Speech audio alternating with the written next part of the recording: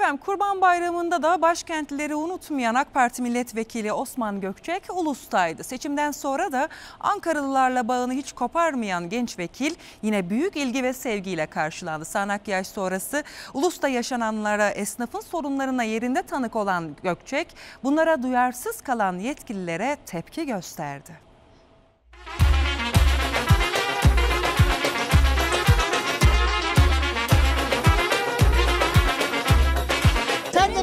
Oğlum. Bir tanem Allah sana. Nasılsın anneciğim iyi misin? Allah aşkına. Mecliste konuşan sen misin? Sayın Mecliste konuşan ben. kurban olurum senin cesaretine. Kurban Bayramı'nda da Ankaralıları unutmadı. Sokak sokak dolaşıp tek tek bayramlaştı. AK Parti Ankara Milletvekili Osman Gökçek'in ilk durağı Ulus oldu. Sen misin Meclis? Dostlarının yaptığı bir duayı vermek istiyoruz. Allah sizden razı olsun. Vatan millet için çalışıyorsunuz. Allah razı olsun. Ben tanırım ben. Sizden iyi ki gördük. Gel gel gel bir şöyle bir el sıkalım sarılalım gel. Ay. Yakışıklı hayırlı bayramlar. Teşekkürler iyi bayramlar. Eller yukarı mı diyorsun yani? Yine karşılaştık biliyor musun? Öyle mi? Vatandaşın arasında gezersen karşılaşırsın. Gittiği her yerde olduğu gibi burada da yoğun ilgiyle karşılanan milletvekili Gökçek başkentlilerle kucaklaştı. Peki senin adın ne? Emir. Senin? Zeynep. Tanıştığımıza memnun oldum. Ben de Osman. Nasıl karneler? Çok iyi. Senin? Vay. Şekerciye şeker verilir mi? İyi bayramlar olsun inşallah. Ha? Ya vekilim geldi bir gün işler açıldı. Ya bir gün var ya işte yoktu. İki seferdir sen geliyorsun. Her bayramda buradasın. Allah. Daima görmek isterim. Mecliste DEM partililere yaptığı haklı çıkışla çok konuşulan genç vekile sokakta da destek yoğundu. Mecliste konuşan sen misin? Sayın Mecliste konuşan Cesaretine ben. kurban olurum senin cesaretine.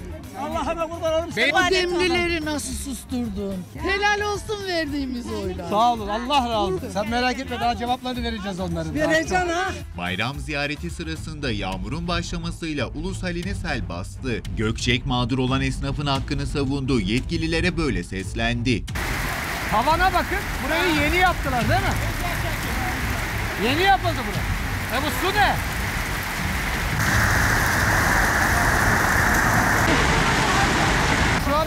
Haline bak. Şu anın haline bak. Bayram gezmesine geldik. Sayın Mahsur Yavaş. Şuranın bir haline bak. Birazcık halkın arasına girin. Bu hale bir görün. Yazık günah değil mi milletin şeyi? Altyapıyı yapıyoruz diyorsunuz millet şurada. Lağım suyu bastı ya şuranın haline bak. Buranın altyapılarını yeni yaptıklarını söylediler. Geldiler burada açılış yaptılar. İşte burada vatandaşın hangi hale geldiğini, hangi durumda olduğunu Ankara Büyükşehir Belediyesi'nin yetkilileri izlesin görsün. Sayın Yavaş görsün.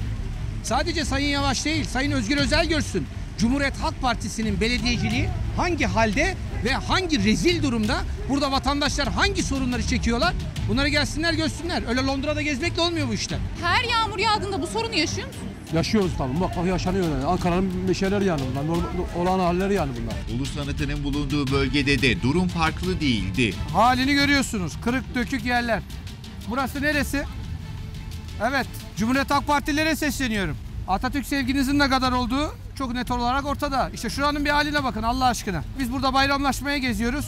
Vatandaş burada gördüğünüz gibi engelli koşusu yapıyor sanki. Ankaralılara seçimden seçime değil her dönem yanlarında olacaklarını hatırlatan Gökçek herkesin gönlünü kazandı. Hacı abi nerede? Bugün erken çıktı biraz. Bak ona de ki Osman geldi seni bulamadı de. Üçüncü gelişin. Geçen sefer baban üç dedi. Ben size zannediyorum ya üçüncü gelişim ikinci. Üçüncü gelişim. Nereden geliyorsunuz? Somali'den Somali. Hadi bakalım. Allah'a emanet Somali'ye selam.